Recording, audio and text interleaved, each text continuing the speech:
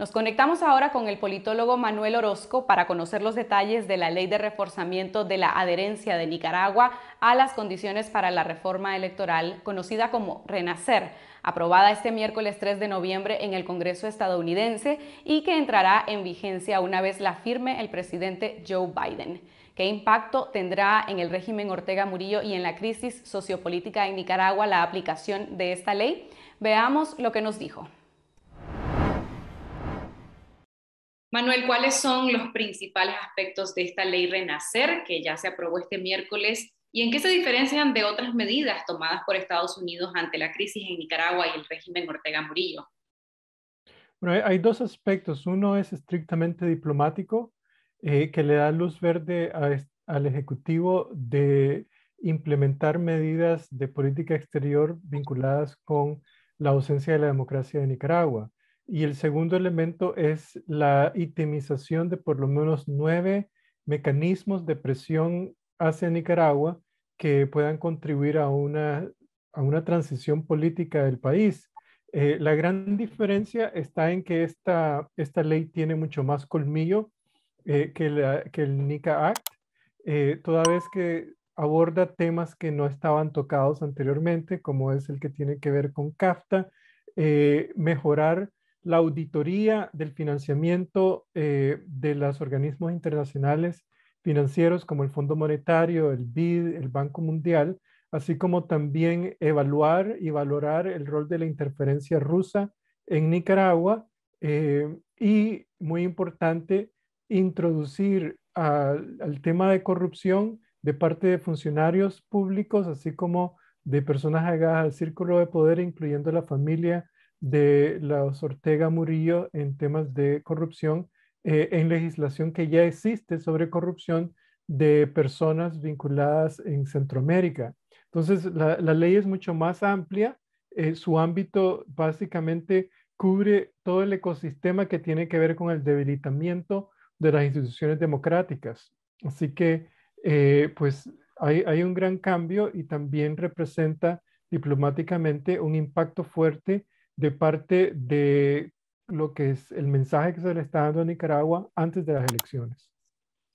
A la ley solo le falta ya la firma del presidente Joe Biden. ¿Cuándo podría darse esa firma? Y después de eso, ¿qué faltaría para ver la implementación? Bueno, la, la firma es muy posible que se realice antes de las elecciones eh, y, y el, la respuesta inmediata van a ser sanciones contra Nicaragua a individuos, especialmente aquellos que han estado participando en el diseño del fraude y en la ejecución de, la, eh, de los juicios y acusaciones falsas contra los líderes eh, que se encuentran encarcelados en este momento. Eh, eso sería la, la, reacción inmediata y posteriormente empieza la valoración del rol de Nicaragua en CAFTA, así como también especialmente la interferencia de Rusia. Em, ya Estados Unidos ha realizado investigaciones sobre el rol de corrupción que existe dentro del régimen en términos de favores económicos, de su presencia y extensión en empresas eh, nicaragüenses que son básicamente beneficiadas por el clientelismo político del régimen. Entonces, todo este va a ser parte del trabajo que se va a realizar en el transcurso de lo que queda de este año.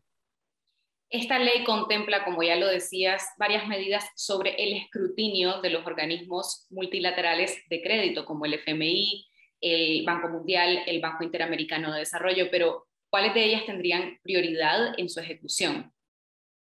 Pues yo creo que en este momento la prioridad es el Fondo Monetario Internacional, que le ha dado financiamiento a Nicaragua eh, en los últimos dos años, eh, por lo menos le ha financiado un 5% de su gasto público. Eh, es decir, Nicaragua se ha endeudado en más de 400 millones de dólares con el Fondo Monetario eh, y no ha habido mucha eh, rendimiento de cuentas en relación con el tipo de gasto, de administración del gasto de esos préstamos. Entonces, una de las primeras prioridades de este gobierno es determinar que el Fondo Monetario ha desembolsado el dinero y se ha gastado en las actividades que Nicaragua dijo que se comprometía.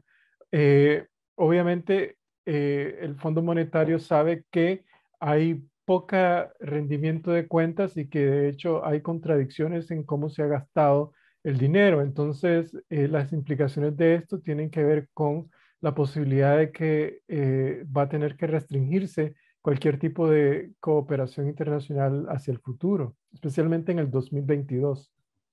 ¿Qué implicaciones podríamos ver eh, con la aprobación de esta ley que llega, como ya lo decías, a tan solo cuatro días de la votación en Nicaragua? Yo creo que la implicación principal es a nivel diplomático le da un espaldarazo al nicaragüense, como la última encuesta de Sid Gallup muestra, solamente el 10% de los nicaragüenses favorece a Daniel Ortega en esta elección y el 70% estaría votando por los candidatos que están en la cárcel. Eh, entonces, esta ley básicamente lo que está dando es votando por los nicaragüenses a través de eh, sus instrumentos de, presión internacional. Eh, es un golpe al gobierno nicaragüense porque explícitamente se le está señalando como no solamente antidemocrático, pero también corrupto. Y, esto de alguna manera le da confianza a los nicaragüenses y algún tipo de aliento moral a una población que ha sido prácticamente víctima de la maldad del régimen. Esta ley también ordena a la administración de Biden para que haga gestiones diplomáticas con Canadá, con la Unión Europea y otros países en Latinoamérica y el Caribe para imponer sanciones selectivas contra los ciudadanos que obstruyan las elecciones nicaragüenses. ¿Cómo se materializaría entonces esta disposición después del 7 de noviembre? Pues predominantemente con sanciones institucionales y sanciones a aquellos individuos que han estado trabajando. La Unión Europea, Estados Unidos eh, en particular han estado coordinando la posibilidad de establecer sanciones. Ya Estados Unidos y Canadá han coincidido en realizar sanciones conjuntas y el trabajo que ellos tienen ahora es básicamente eh, calendarizar eh, el nivel de sanciones de forma simétrica al momento de ejecutarlas. ese es uno de los elementos importantes, pero también hay una cuestión valiosa de esta ley Renacer. La ley Renacer tiene diferentes prismas. Uno de ellos es el de las sanciones, el otro tiene que ver con el rol de CAFTA, el otro la interferencia de Rusia, pero también hay un esfuerzo diplomático de no agotar eh, los vínculos, de promover un cambio político en Nicaragua y montar algún tipo de diálogo con el gobierno de Nicaragua. Es decir, aquí no se le está simplemente demonizando al gobierno, sino que se está señalando la ausencia de la democracia y al mismo tiempo ofreciéndole una salida al régimen. Y, pues Nicaragua adoptó básicamente una estrategia de medir su riesgo de que la comunidad internacional no iba a responder de forma proporcional al nivel de abusos que están cometiendo. Sin embargo, esta ley lo que está haciendo es básicamente tratar de eh, responder de forma casi simétrica eh, eh, con este tipo de sanciones. Así que hay un elemento comprensivo valioso de todo esto. Manuel, ¿y qué tanta posibilidad hay de que se aplique esta revisión de la participación de Nicaragua en el CAFTA y además qué consecuencia tendría esa revisión? Mira, yo creo que no es eufemismo, no es una formalidad el haber puesto ese componente eh, hay una preocupación en esta administración y especialmente en el Departamento de Estado que las relaciones comerciales necesitan ser escrutinadas en relación con el ejercicio del Estado de Derecho Democrático por parte de los socios comerciales. Y el caso de Nicaragua va a ser uno de los primeros ejemplos. No es el único, sin embargo, porque esto puede que afecte también a otros países como Honduras y Guatemala. De ahí que las implicaciones son fundamentalmente importantes a nivel regional porque aplican a aquellos países cuyos ejercicios democráticos son cuestionables dentro del margen de CAFTA. Para Nicaragua, en términos prácticos, el 60% del comercio nicaragüense eh, de exportaciones va hacia Estados Unidos y el 30% de sus importaciones proviene de Estados Unidos. Nicaragua eh, puede retaliar con imposición de aranceles a las importaciones de bienes eh, de Estados Unidos, tratando de ejecutar algún tipo de proteccionismo. Sin embargo, lo que estará haciendo es eh, continuar su castigo contra los nicaragüenses y los empresarios este año. Entonces, eh, las implicaciones son sustanciales desde cualquier ángulo que se vea, pero la posibilidad de que este gobierno de Estados Unidos suspenda a Nicaragua dentro de CASTA es bastante realista. ¿Y qué hay sobre estos informes que la ley demanda de las relaciones entre Rusia y Nicaragua? ¿Por qué el interés particular sobre este tema? Bueno, eh, Rusia ha venido desarrollando una política de, de menoscabo eh, contra el interés nacional de Estados Unidos a través de terceros países. Se ha penetrado en varios lugares para hacer el uso, por ejemplo, de eh, cometer eh, ciberdelitos, de intervenir en las redes de medios sociales, entre otras cosas. Y por ahí va parte de, esta, de este componente sobre Rusia. Es un mensaje también al gobierno ruso de que su interferencia no ha pasado, no ha sido omitida, sino que Estados Unidos sabe de la presencia de Rusia en América Latina y están poniendo cartas al respecto. La ley busca surtir un mayor efecto en términos de la presión internacional que obliga al régimen a buscar una salida a la crisis que vive Nicaragua. ¿Cómo crees que pueda incidir en la crisis interna del país y en la suspensión del Estado policial? Bueno, la forma en que incide directamente, como le dije, es que le, le da un poco de respaldo moral a los nicaragüenses que les hace saber que no están solos, que hay una presión internacional y que Estados Unidos en particular eh, no se ha olvidado de Nicaragua.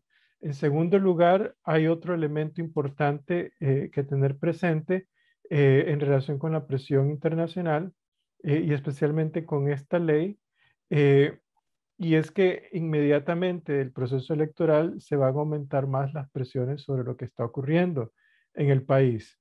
Así que, em, de alguna manera, el, tema es que dentro del círculo de poder ya existe disenso sobre la forma en cómo el régimen ha estado ejecutando el fraude y la criminalización de la democracia. Y esta presión de Estados Unidos, pues lo que hace es eh, hacerle saber a esos sectores disidentes que tienen opciones para evitar ser sancionados también. Entonces, eh, yo creo que eh, las implicaciones son eh, directas hacia los miembros del círculo de poder también.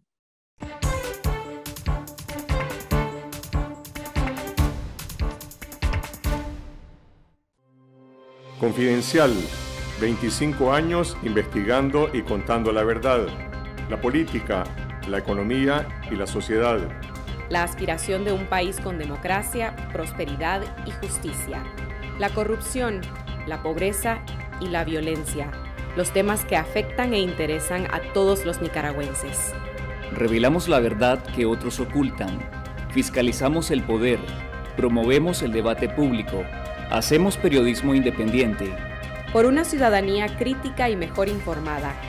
Contá con nosotros, estamos cada vez más cerca de vos nunca podrán confiscar la verdad. Confidencial, conectados con la verdad.